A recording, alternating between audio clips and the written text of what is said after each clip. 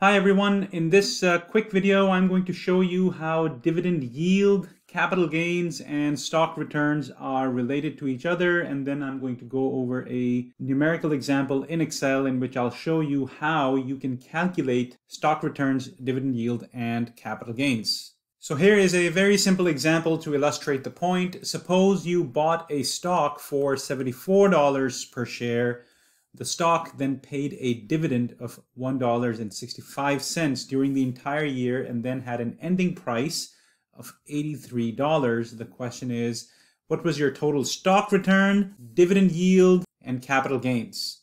Now, conceptually, this is a rather simple exercise. All you got to do is say, well, here I am at time period zero, where I'm buying the stock for $74 per share during the entire year, the stock pays $1.65. So you get $1.65 right here. And at the end of the year, you also are able to sell the stock for $83. So if somebody asks you what is the total return that you made, you might say, well, by the end of the year, I made $1.65. Sure, that was the dividend part. And then by investing $74, I got something that was worth 83, so I benefited by about $9, which is the difference between 83 and 74. And so this is the total dollar amount that you made on a $74 investment.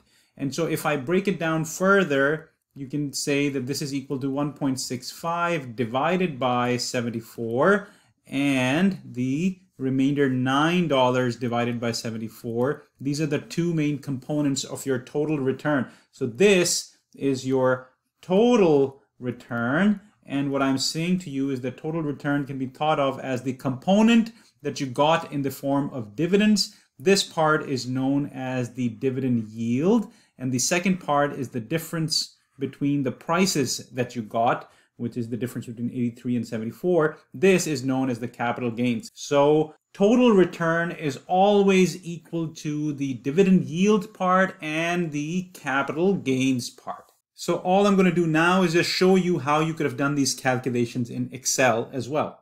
So here is the information. You have a purchase price of $74 per share. You're given dividends of $1.65 for the entire year and then the ending price of $83. If somebody asks you what is the dividend yield, that is really just how much dividends you got as a percentage of the price that you initially paid for. So basically you got 2.23% of your return in the form of dividends. Capital gains is the other component, which is the difference between the prices, as I just showed you. So 83 minus $74, and I'm going to divide this part by the initial 74 right here as well.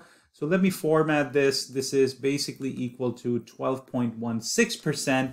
And therefore, your total return is nothing but the sum of these two numbers. If you add these two numbers up, this is about 14.39%. This is the total return that you made from owning the stock. If you found this video useful, click the like button and subscribe to the channel. And feel free to ask any questions using the comment section.